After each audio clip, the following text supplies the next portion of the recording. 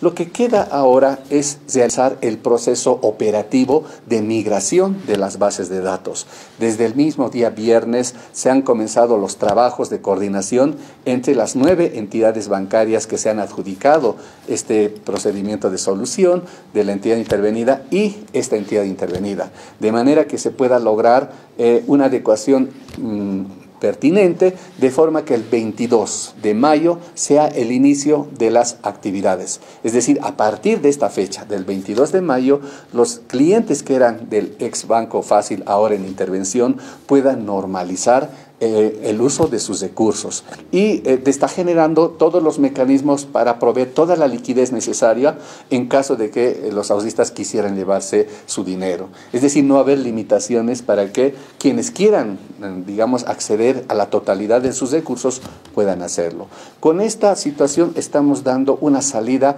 muy ordenada de esta entidad y estamos cumpliendo con el cronograma, con lo cual se da certeza a los ausistas de que van a poder recuperar sus recursos recursos. En este trabajo coordinado que hemos desarrollado con el Ministerio de Economía y el Banco Central de Bolivia, estamos concluyendo con un proceso que ciertamente le hace mucho bien al sistema financiero, a la economía y por supuesto a quienes eh, han sido clientes de esta entidad.